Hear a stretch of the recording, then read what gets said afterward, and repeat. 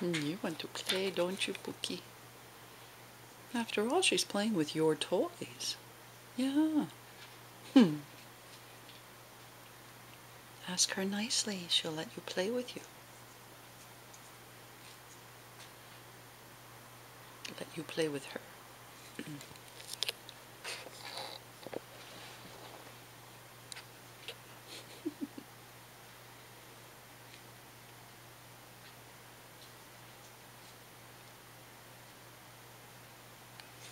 Well, I guess we have to wait for her to discover that you're a better plaything than those toys.